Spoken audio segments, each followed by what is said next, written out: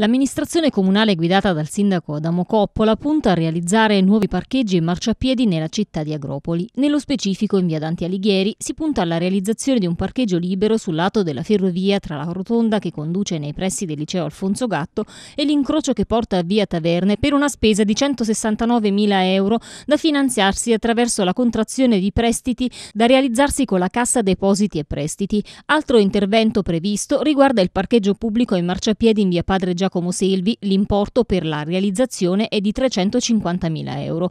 L'area in questione presenta diverse abitazioni, un supermercato, la chiesa Sacro Cuore, l'oratorio, una scuola primaria e la scuola dell'infanzia Selvi. Sebbene quest'ultima sia provvista di un parcheggio, occorre tenere presente che la richiesta dei posti auto è maggiore per la vicinanza dell'area lungomare San Marco, specie nel periodo estivo. L'azione di riqualificazione della zona prevede anche la messa in opera di marciapiedi, ad oggi del tutto assenti, un'azione che potrebbe arrecare dei benefici importanti. I marciapiedi dovrebbero realizzarsi a partire dalla stazione ferroviaria fino ad arrivare alla chiesa Sacro Cuore, mentre il parcheggio, che sarà pubblico e non a pagamento, verrà realizzato di fronte alla chiesa. I terreni dove verranno svolti i lavori sono stati acquistati dal comune e i posti auto ricavabili sarebbero un grosso vantaggio per i residenti e non solo, considerato che in molti casi le auto vengono parcheggiate lungo la strada, creando spesso disagi alla circolazione veicolare e ai pedoni. Le opere pubbliche sono sono inserite nel programma triennale 2020-2022 e nell'elenco annuale 2020 dei lavori pubblici approvati con la deliberazione del Consiglio Comunale numero 69